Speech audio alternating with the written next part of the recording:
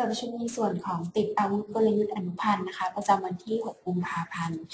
2558 นะคะ ในส่วนของตลาด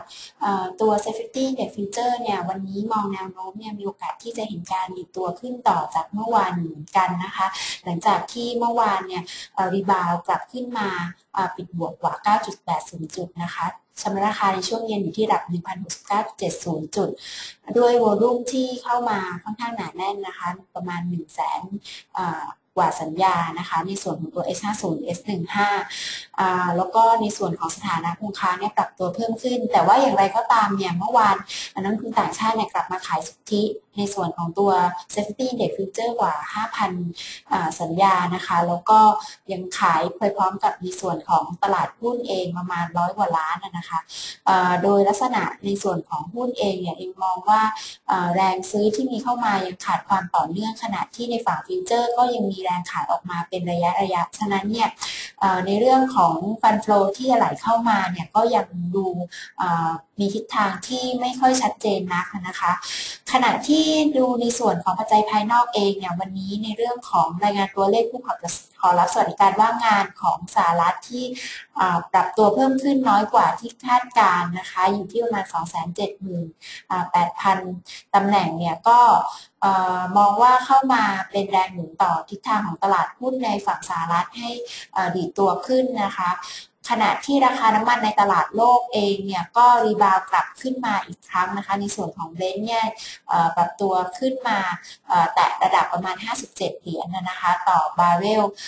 ทั้งนี้เนี่ยก็เนื่องจากว่ามีเหตุรุนแรงเกิดขึ้นในลิเบีย แล้วก็ในส่วนของคาดการณ์ว่าอุปสงค์จากจีนเนี่ยน่าจะปรับตัวเพิ่มขึ้น ก็กลับมาเป็นแรงหนุนต่อหุ้นกลุ่มพลังงานนะคะ แล้วก็มองว่าในส่วนของหุ้นพลังงานในบ้านเราอาจจะได้รับอันนี้ส่งเชิงบวกอีกครั้งหนึ่งจากที่เมื่อวานเนี่ยมีการพักตัวตามทิศทางของราคาน้ำมันลงไปนะคะ ขณะที่ภายในเองเนี่ยก็มองว่าแรงจริงกำไรในส่วนของกลุ่มแบงก์เมื่อวานเนี่ยมีเข้ามา วันนี้ก็คงต้องจับตาดูต่อนะคะ ว่าจะมีแรงซื้อเข้ามาต่อเนื่องหรือเปล่าขณะที่ในส่วนของแรงเก็งกำไร เรื่องของผลประกอบการโดยเฉพาะในส่วนของกลุ่ม ICT เองรวมถึงในส่วนของหุ้นปันผลเนี่ยอาจจะมีเข้ามาช่วยจำกัดดาวไซด์อยู่เหมือนกัน แต่อย่างไรก็ตามเนี่ย